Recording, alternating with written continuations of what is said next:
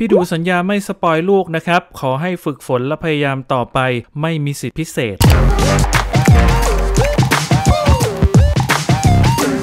บอกได้เลยว่ายิ่งโตยิ่งหล่อนะครับสำหรับเอมสันเพชรลูกชายของพี่ดูสัญญานะครับล่าสุดมีโอกาสได้เจอตัวคุณพ่อดูนะครับในงาน Open House หลานมาเจ้าตัวก็เปิดใจถึงเรื่องราวความหล่อของลูกชายนะครับว่า ขอบคุณในคำชม ช่วยจ้างด้วยครับ ผมเองก็คุยกับลูกว่าสารตั้งต้นของวงการบันเทิง ที่จะอยู่เบื้องหน้า ก็คือภาพที่ดูดีนะครับไม่ว่าจะร่างกายดูดี หน้าตาดูดี นั่นเป็นเพียงสารตั้งต้นอันที่หนึ่งเพราะที่ต้องมีมากกว่านั้นนะฮะก็คือทักษะความรับผิดชอบ มีความตั้งใจ มีความสามารถ และสุดท้ายคือต้องนิสัยดีนะครับ ซึ่งคำว่านิสัยมันครอบคลุมหมดเลย ผมว่าก็ลองดู ซึ่งเขาเองก็อยากลองเหมือนกัน ผมเองก็พยายามถ่ายทอดทุกอย่างให้กับลูก เขาเองก็สนใจในวงการบันเทิงอยู่แล้ว ที่สำคัญผมเป็นคนให้ข่าวเองว่าช่วยจ้างหน่อย เพราะตอนนั้นยังไม่มีงานเลย แต่ที่ผ่านมาเขายังไม่ได้ไป cast อะไรเท่าไหร่ ไม่มีใครมาติดต่อด้วย แต่สิ่งที่ผมไม่ทำให้มันเกิดขึ้น คือผมไม่ spoil ลูกว่าลูกหล่อมาก ลูกดีงาม ลูกคือพระเอก ไม่เลย ลูกยังไม่ทำงานเลย ใจเย็นๆ จงฝึกฝนและพยายามต่อไป